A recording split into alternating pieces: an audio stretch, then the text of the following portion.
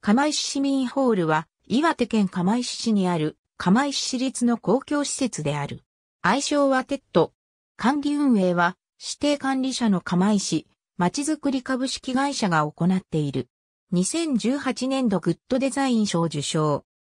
釜石市民ホールは、釜石市の復興プロジェクト、フロントプロジェクト愛の取り組みで、東日本大震災により被災した釜石、市民文化会館の代替施設として、市民の福祉の増進と文化の向上を図るため、賑わい創出と文化芸術に関する活動を行う市民文化の総合支援拠点として建設されたホールである。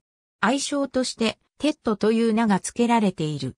意味は、釜石と鉄の深いつながりを表す、鉄ととイタリア語で屋根を意味するテッドを語源としている。ホール A、ホール B のほか、スタジオ、会議室、和室などを持つ。ホール A には多目的鑑賞室もある。主な用途は、コンサート、講演会、演劇、式典等である。ホール A が838席、ホール B は218席ある。ホール A とホール B は、ホール A の可動席と大型建具の開放によりホール A とホール B、共通ロビー、広場が一体になった総長77メートルのホールとして利用できる。ホール A ホール B 専用駐車場はなし。ありがとうございます。